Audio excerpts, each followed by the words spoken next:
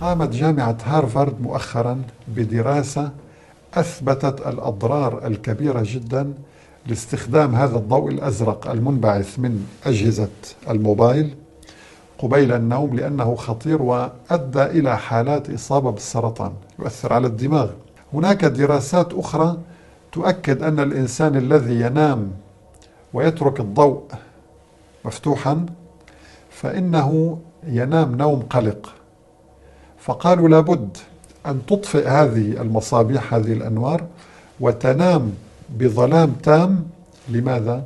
لأن الدماغ أثناء النوم يبقى في حالة عمل مستمر إذا النصيحة التي يوجهها العلماء اليوم يقولون في نهاية أبحاثهم ودراساتهم العلمية اليقينية المؤكدة أنك عندما تريد أن تنام أو تأوي إلى الفراش إذا أردت أن تتمتع بصحة جيدة فعليك أن تطفئ هذه المصابيح تماما وتخلد إلى النوم.